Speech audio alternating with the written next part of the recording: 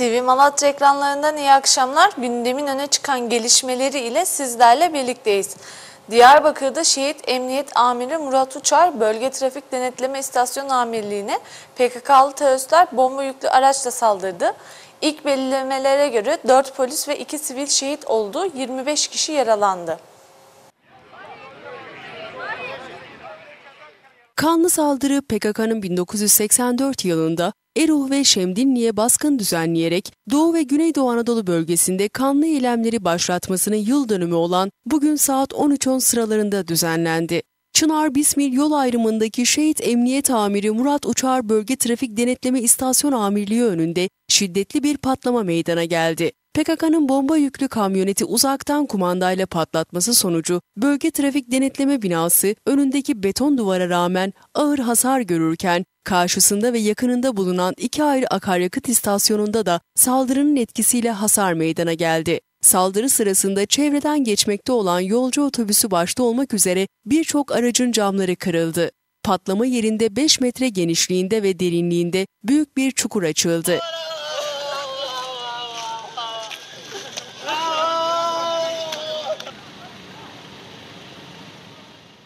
Olay yerine Diyarbakır'dan, karadan ve havadan ambulanslarla polis ekipleri sevk edildi. İlk bilgilere göre saldırıda ölen ve yaralananların olduğu belirtildi. Çalışmalar sırasında ölen bir kişinin cesedinin akaryakıt istasyonundan çıkarıldığı görüldü. İlk belirlemelere göre iki polis ve bir sivil şehit oldu, 25 kişi yaralandı. Patlama ardından yakın bölgede teröristlerle güvenlik güçleri arasında çatışma sürerken yaralılar ambulanslarla çevredeki hastanelere kaldırıldı. Ağır hasar gören binanın enkazının kaldırılmasında yakında yol çalışması nedeniyle bulunan iş makineleri de itfaiye ekiplerinin çalışmasında kullanılıyor. Teröristlerin yakalanması için bölgede operasyon başlatıldı. FETÖ soruşturması kapsamında Malatya eski vali yardımcısı Şükrü Özcan ile eski il müftüsü Hacı Yusuf Gül, Kütahya Emniyet Müdürlüğü Terörle Mücadele Şubesi ekipleri tarafından gözaltına alındı. FETÖ soruşturmasıyla başlatılan operasyonlar tüm Türkiye'de devam ediyor. Malatya Cumhuriyet Başsavcılığı tarafından haklarında yakalama kararı bulunan Malatya eski vali yardımcılarından Kütahya Vali Yardımcısı Şükrü Ozan ile Malatya eski il müftüsü Hacı Yusuf Gül gözaltına alındı. Kütahya Emniyet Müdürlüğü Terörle Mücadele Şube ekipleri tarafından evlerinde gözaltına alınan Özcan ile Gül, evlerinde yapılan aramaların ardından Malatya'ya getirildi. Yapılan aramanın ardından çok sayıda evrak ve dökümana incelemek üzere el konulduğu bildirildi. FETÖ'ye yönelik başlatılan soruşturma kapsamında Malatya'da gözaltına alınan 30 polisten 15'i tutuklandı.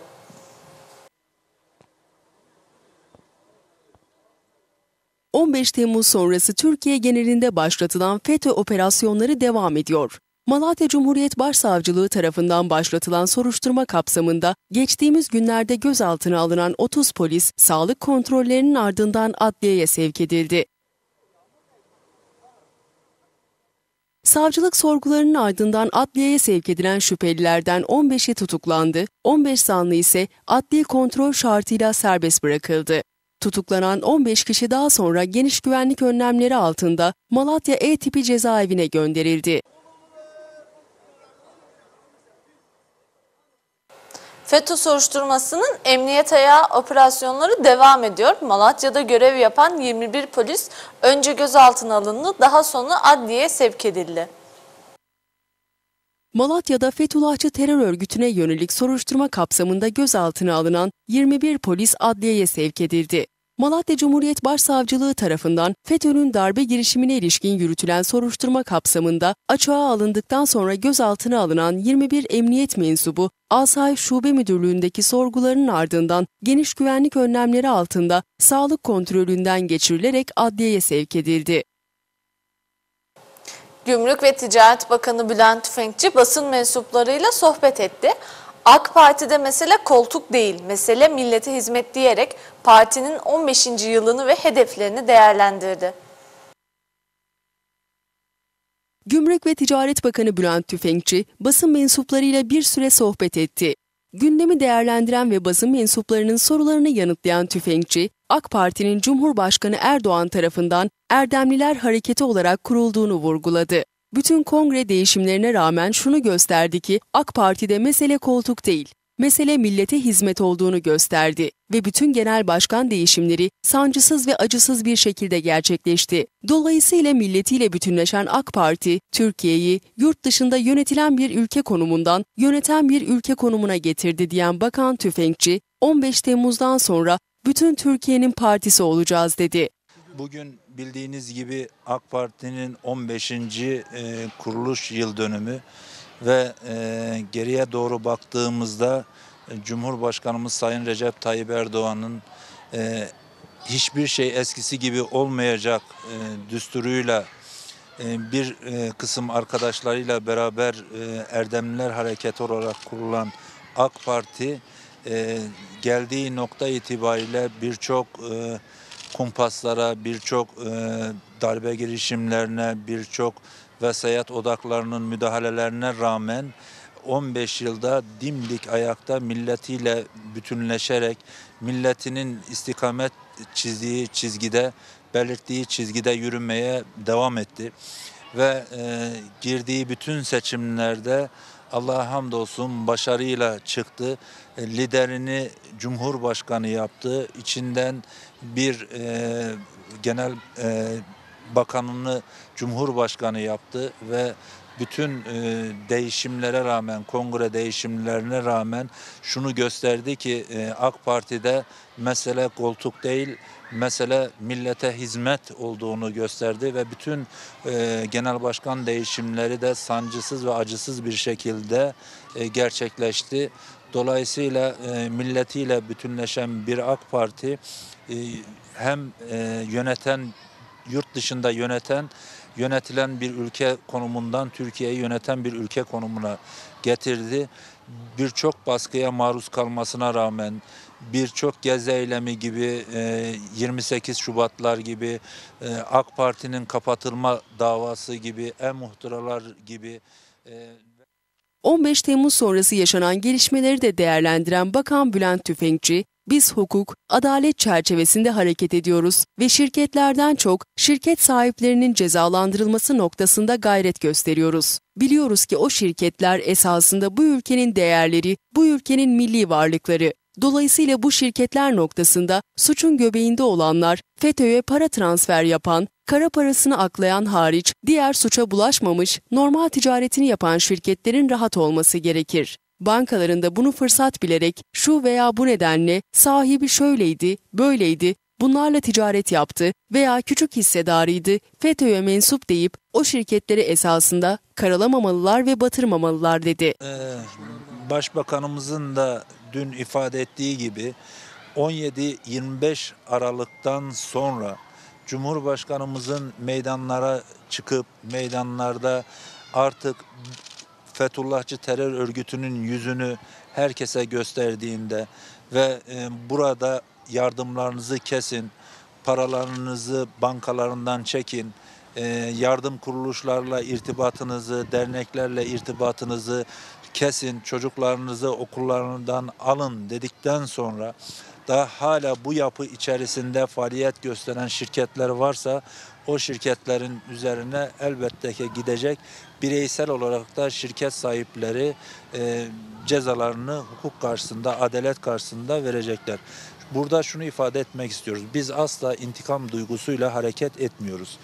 Biz e, in, hukuk çerçevesinde, adalet çerçevesinde hareket ediyoruz ve e, şirketlerden çok şirket sahiplerinin cezalandırılması noktasında e, gayret gösteriyoruz. Biliyoruz ki o şirketler esasında Vali Mustafa Toprak, Fethullahçı terör örgütünle mücadele kapsamında çalışmaların aralıksız sürdüğünü belirtti. Toprak şu ana kadar kamu kurumlarında yaklaşık 1100 kişinin açığa alındığını söyledi. Milliyetçi Hareket Partisi İl Başkanı Mehmet Erdem ve il yönetimini makamında kabul eden Vali Mustafa Toprak, FETÖ'nün soruşturmasının ayrıntılarına da değindi. Vali Toprağa gerçekleştirdikleri ziyarette 15 Temmuz akşamı Malatya'da önemli olayların yaşanmadığını belirten Milliyetçi Hareket Partisi İl Başkanı Mehmet Erdem, burada önemli olaylar yaşanmamasında Vali Toprağın çok önemli gayretleri oldu. Her ne kadar Malatya'ya yeni gelmiş olsa da bir Malatyalı gibi davrandı ve özveride bulundu dedi. Ülkemiz bir 15 Temmuz yaşadı. Gecesini daha doğrusu. Tabii burada e, Malatya ülke genelinde olan bir hadise ama e, Malatya'nın da ayrı bir yeri var bu hususta. Milli hassasiyeti olan bir ilimiz. Milli hassasiyete ek olarak bu işi yönlendirecek e, devlet büyüklerimiz de burada. Sayın Valimizin, belediye başkanımızın, diğer e, sivil toplum kuruluşlarımızın değerli e, üyeleri, başkanları büyük bir gayret sarf ederek Malatya'da da olduğu gibi e, az zayiatla atlatmasını bilmiştir. Bu hususta Sayın Valimizin büyük gayretleri olmuştur. E, ne kadar yeni gelmesine rağmen e, bir Malatyalı gibi Malatya'yı bilen, tanıyan, insanlarını bilen, tanıyan bir lider olarak gerçekten büyük gayretler olmuştur. E, Sayın Valimizin hem hayırlı olsun hem geçmiş olsun hem teşekkür etmeye geldik. E, hususta kendisi de bizi kabul ettiği için teşekkür ediyoruz. Vali Mustafa Toprak ise 15 Temmuz sonrası başlatılan operasyonlar hakkında bilgi vererek bugüne kadar kamu kurumlarında yaklaşık 1100 kişi açığa alındı. Özel sektörde de takibat devam ediyor. Bu anlamda bilgiler ortaya çıktıkça bunların üzerine ciddiyetle gidilecektir dedi. Sizin ifade ettiğiniz gibi evet geldik, göreve başladık. Ee, Malatya çok kadim bir il, kültürlü ve kimlikli bir il. Ee, tüm alanlarda zenginliğini ortaya koyan bir il, başta insani zenginliği olmak üzere bu şehirde görev yapmak bizim için e, bir gurur. Şüphesiz 15 Temmuz e, terörist kalkışma ve iç e, çatışmayı planlayan bir hain hareketi de birlikte yaşadık ama e, sizin ifade ettiğiniz gibi Allah bir kez daha 15 Temmuzları ne ilimize ne ülkemize e, hiçbirimize yaşatmasın. E, hainlerin e, kötü emelleri kursaklarında kalsın. E, ve bununla birlikte şüphesiz ki Malatya'da da e, vatandaşlarımızın bunu kanamadan e, bu meselelerin ortadan kaldırılması ve e, ihanetin e, hiçbir şekilde buraya yansımaması için de el birliğiyle gayret ettik. Şüphesiz ki devletimizin imkanlarını ve gücünü burada kullanıyoruz ama vatandaşlığımızdan aldığımız güçle daha da dinamik oluyoruz. Malatya ilimizde de paralel devlet yapılanması FETÖ hain terör örgütüne yönelik olarak e, kurumlarımızın içerisine sivil toplum örgütlerinin ya da meslek örgütlerinin ya da özel sektör şirketlerin içerisine sızmış olan e, bu hain yapının temizlenmesi noktasındaki çalışmalar tüm ülkemizde olduğu gibi burada da devam etmektedir. Burada daha önce iki vali yardımcısı açığa alınmıştı. En son 3-4 gün önce de iki kaymakam, bir vali yardımcısı daha açığa alındı. Bunun yanında tüm kamu kurumlarımızda ve diğer birimlerimizde çalışmalar devam ediyor diyen Toprak, FETÖ'nün tüm kurumların içine sızdığını belirtti. Bugüne kadar e, 1100 e, kişiye yakın e, bir açığa alma işlemi gerçekleştirildi. Bu tüm kamu kurumlarında. Özel kesimle ilgili de şu anda hala e, emniyette gözaltında olan e, ilgililer, şirket yetkilileri ya da bu işin e, ana merkezinde olan kişilerle ilgili takibat e, devam ediyor. Yani burada daha önce iki vali yardımcımız İçişleri Bakanlığımız aracılığıyla açığa alınmıştı. E, en son üç gün önce yanlış hatırlamıyorsam dört gün önce iki kaymakam bir vali yardımcımız daha açığa alındı FETÖ soruşturması çerçevesinde. Cumhuriyet Halk Partisi Genel Başkan Yardımcısı ve Milletvekili Veli Ağbaba, Yeşilyurt Belediye Başkanı Hacı Uğur Polat'ı ziyaret etti. Ağbaba siyasette bir yumuşama ve uzlaşma havası gözüküyor. Bunun devam etmesini istiyoruz dedi. Cumhuriyet Halk Partisi Genel Başkan Yardımcısı ve Milletvekili Veli Ağbaba, Yeşilyurt Belediye Başkanı Hacı Uğur Polat'ı ziyaret etti. Yeşilyurt Belediyesi'nin yakıncadaki hizmet binasında gerçekleşen ziyarette Cumhuriyet Halk Partisi Genel Başkan Yardımcısı ve Malatya Milletvekili Veli Ağbaba, Cumhuriyet Halk Partisi Malatya İl Başkanı Enver Kiraz, Yeşilyurt Belediye Başkan Yardımcısı Meltem Kavuk ile Cumhuriyet Halk Partili meclis üyeleri de hazır bulundu. Yeşilyurt Belediye Başkanı Hacı Uğur Polat, Veli Ağbaba'ya ziyaretinden dolayı teşekkür ederek, ülkemiz çok önemli bir badireyi milletimizin tamamının el birliği yapmasıyla atlattı. Din, dil, ırk ayrımı yapmaksızın Türkiye Cumhuriyeti vatandaşı olan bütün halkımızla birlikte darbeyi püskürttü. Burada AK Parti, Cumhuriyet Halk Partisi ve Milliyetçi Hareket Partisi aynı tepkiyi ve aynı refleksi gösterdiler. Ülkemiz bundan sonra darbelere meydan vermeyecektir dedi. Ülkemiz çok e, önemli bir badireyi atlattı. Aslında bu badireyi e, vatandaş olarak, millet olarak hep birlikte atlattık. Ve bu darbeye karşı e, din, dil, ırk ayrımı yapmaksızın e, Türkiye Cumhuriyeti vatandaşı olan e, bütün insanlarla birlikte o gün darbenin karşısında durarak darbeyi püskürtmüş olduk. Burada Cumhuriyet Halk Partisi, Milliyetçi Ha- Hareket Partisi ve AK Parti aynı tepkiyi ve aynı refleksi gösterdiler. İnşallah bizim ülkemiz bundan sonra böyle darbelere meydan vermez. Ağbaba ise 15 Temmuz gecesi yaşanan darbe teşebbüsü Türkiye'yi tamamen yok etmeye yönelik bir girişim olarak görülmektedir. Bundan sonra siyasette bir yumuşama ve uzlaşma havası gözüküyor. Bunun devam etmesini istiyoruz. Sağcı, solcu, AK Partili, CHP'li, MHP'li hangi siyasi görüşten olursa olsun sonuçta Malatya milletvekiliyiz. Bunun ne kadar önemli olduğunu, ne kadar sorumluluk taşıyan bir mevki olduğunu biliyorum diyerek Malatya'nın birbirine daha çok kenetlendiğini belirtti. Bizim herhalde tarihimizde e, ilk kadar kanlı bir darbe girişimi oldu.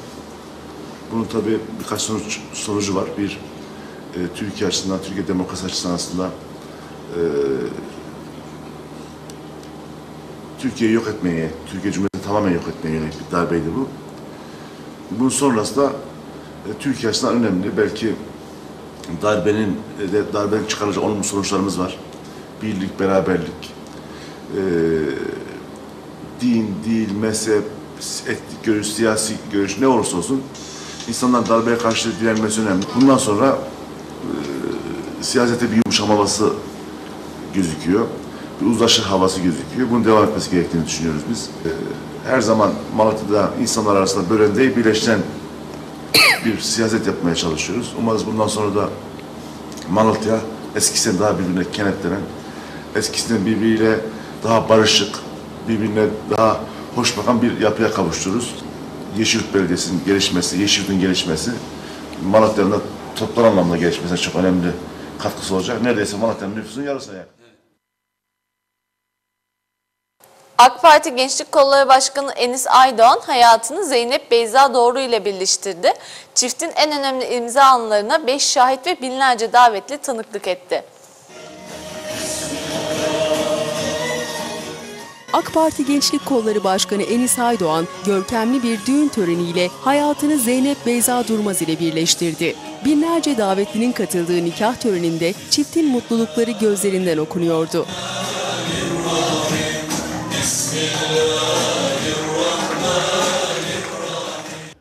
Büyükşehir Belediye Başkanı Ahmet Çakır'ın kıydığı nikahın şahitleri ise Gümrük ve Ticaret Bakanı Bülent Tüfekçi, Vali Mustafa Toprak, AK Parti Milletvekili Mustafa Şahin, Yeşilyurt Belediye Başkanı Hacı Uğur Polat ve AK Parti İl Başkanı Hakan Kahtalı yaptı. Aydoğan çifti evet demek için AK Parti'nin kuruluş yıl dönümü olan 14 Ağustos'u tercih etmeleri dikkatlerden kaçmadı.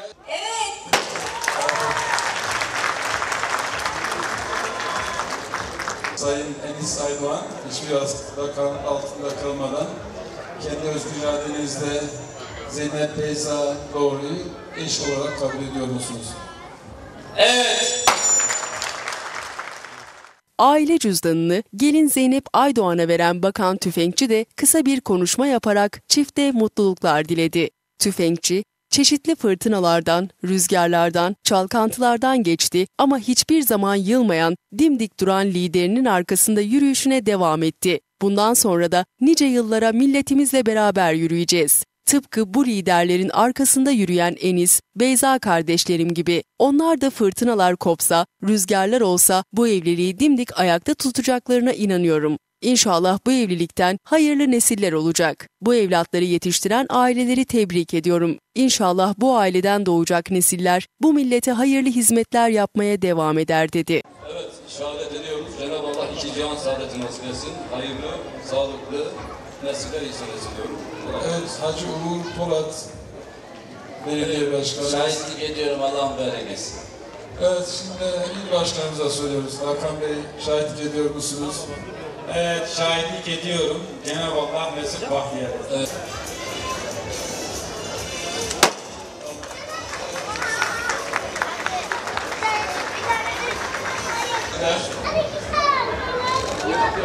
Kardeşimizin düğününe yetişmek için, katılmak için geldik. Bu liderin arkasında yürüyen Enes kardeşim gibi, Beyza kardeşim gibi onların da gerçekten fırtınalı, fırtınalar da olsa, rüzgarlar da olsa bu evliliği dimdikler yapacaklarına ben inanıyorum. İnşallah bu evlilikten hayırlı nesiller olacak. Birlikte veririz. Evet. Allah hayırlı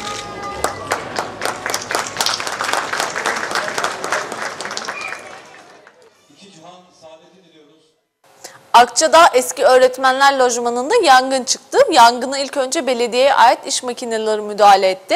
Çok sayıda ağaç zarar gördü. WhatsApp ihbar hattımızdan bize ulaşan bir vatandaşın verdiği bilgiye göre öğle saatlerinde Akçadağ eski öğretmenler lojmanlarında yangın çıktı. Henüz nedeni bilinmeyen yangın bölgede paniğe neden oldu. Yangına ilk önce belediyeye ait iş makineleri müdahale etti. Daha sonra ise çok sayıda itfaiye ekipleri olay yerine geldi. Uzun süre devam eden yangının bulunduğu bölgedeki lojmanların kullanılmıyor olması ise büyük bir faciayı önlemiş oldu. Ancak çıkan yangında çok sayıda ağacın zarar gördüğü öğrenildi. Yangınla ilgili soruşturma başlatıldı. TV Malatya Haber Merkezi tarafından hazırlanan bir ana haber bültenin daha sonuna geldik. Mutlu akşamlar.